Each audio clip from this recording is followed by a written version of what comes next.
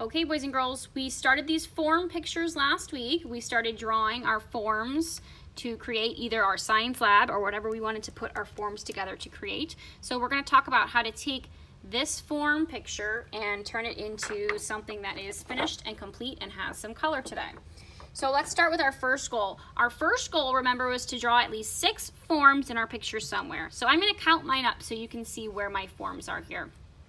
I have four cylinders sitting on the ground line here, one, two, three, four, so that's where I'm starting. And then I have another one, five, for my cube. I have two cylinders down here, six, seven. Then I have two half spheres right here. So I have eight, nine. And then in the background here, I have four really long cylinders, kind of like tubes. So I have 10, 11, 12, 13, and then I have a cone right here that's 14. So I have plenty. I have more than six, so I am good. Now our second goal was to make sure we have that ground line. Remember your ground line starts at the edge of your paper and it hops over each form. So I have my ground line, I'm good with that. My next goal, remember, was to outline all of my pencil lines. So I was taking my black marker and I was going over all of my pencil line details, even the small details. So it looks like I covered all of that, no more pencil lines left. Now before we add color, we're gonna talk about one last thing.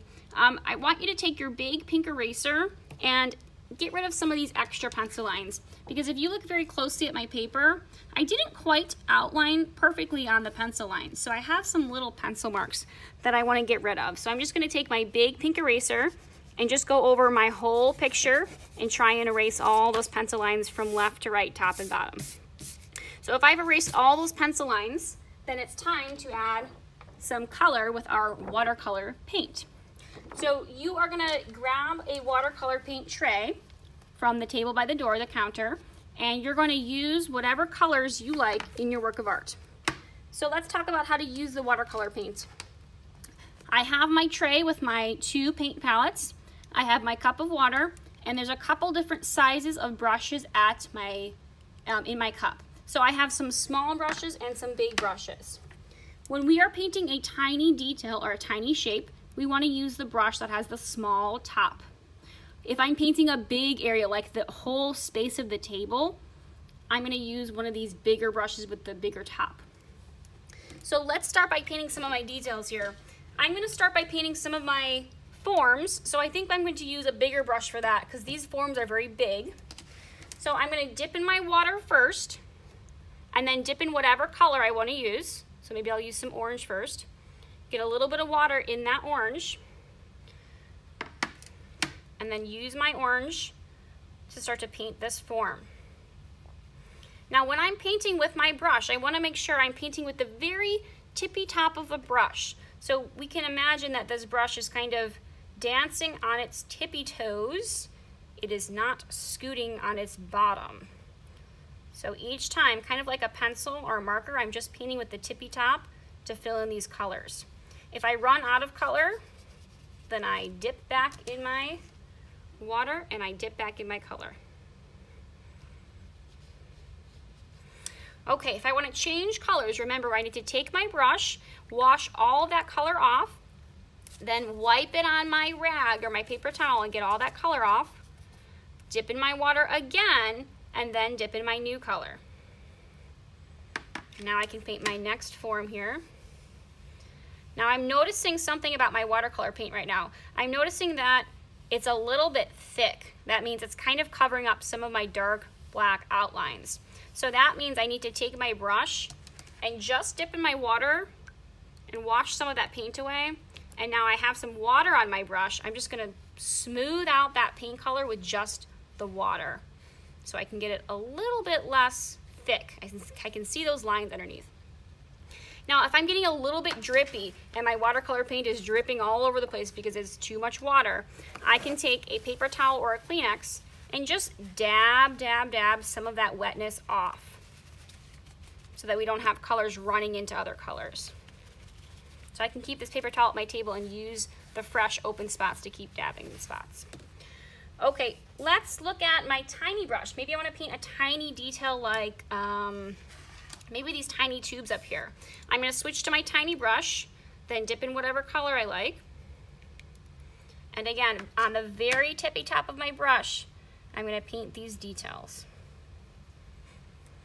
Okay, last thing we're gonna talk about is how to mix some colors. If I wanna create a new color, especially if I have some mixing beakers, it might be kind of interesting if I mixed a couple colors together to make it look like a nice potion.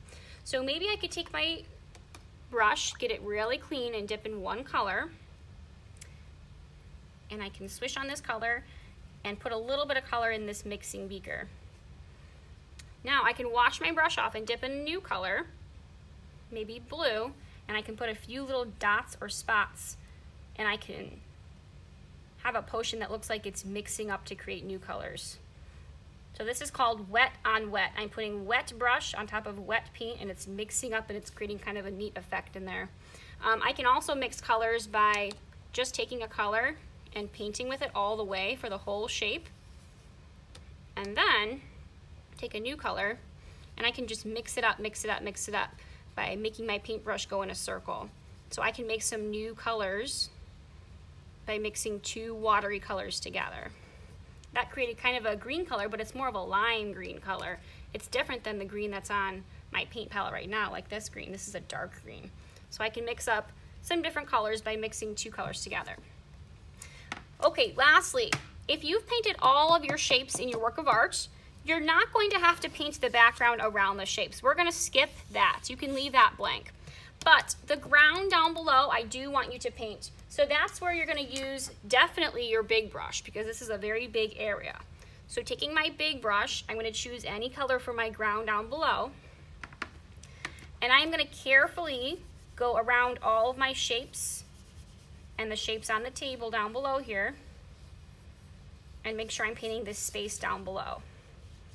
So again, you have to paint your ground or your table all the way around your shapes, but you do not have to paint the space around the background. Okay, let's get started continuing drawing and painting our pictures.